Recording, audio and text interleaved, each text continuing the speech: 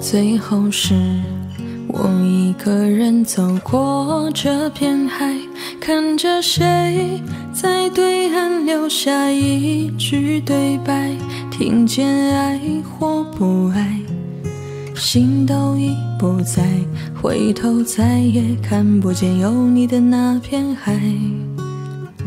是谁在许愿瓶里写满了悲哀？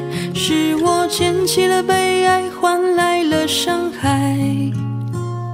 也许是我不该等你，是你不该回来。原本浪漫的邂逅变成了无奈。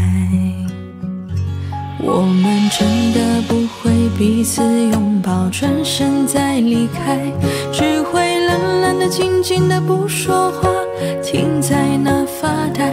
我有多爱，有多爱我，其实我们都说不出来。我们再也不像从前那样舍不得伤害。